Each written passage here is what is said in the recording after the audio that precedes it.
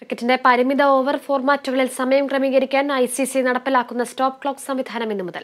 ഇന്ന് തുടങ്ങുന്ന West Indies England T twenty പരമ്പരയിലാണ് നിയമം പരീക്ഷണാടിസ്ഥാനത്തിൽ ഉപയോഗിക്കുക.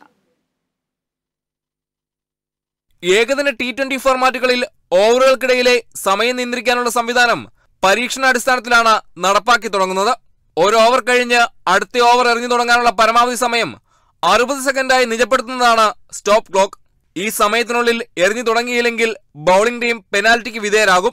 ഒരു ഇന്നിംഗ്സിൽ ഇത്തരത്തിൽ മൂന്ന് തവണ കൂടുതൽ സമയമെടുത്താൽ ബാറ്റ് ചെയ്യുന്നവർക്ക് ബൌളിംഗ് ടീം പെനാൽറ്റിയായി അഞ്ച് റൺസ് നൽകേണ്ടി വരും. ഇതിലൂടെ മത്സരത്തിന്റെ സമയം നിയന്ത്രിക്കാൻ കഴിയാനാകുമെന്നാണ് ഐ സി സിയുടെ കണക്കുകൂട്ടൽ. നിശ്ചിത സമയത്തിനുള്ളിൽ ഫീൽഡിംഗ് ക്രമീകരിച്ച് മത്സരം പുനരാരംഭിക്കാൻ ഇതോടെ ടീം നിർബന്ധിതരാകും. നവംബർ ഇരുപത്തൊന്നിന് അഹമ്മദാബാദിൽ നടന്ന ബോർഡ് യോഗത്തിലാണ് സ്റ്റോപ്പ് ക്ലോക്ക് നിയമം നടപ്പാക്കുന്നത് സംബന്ധിച്ച് ഐ തീരുമാനമെടുത്തത്. Sports desk Kerala Vision News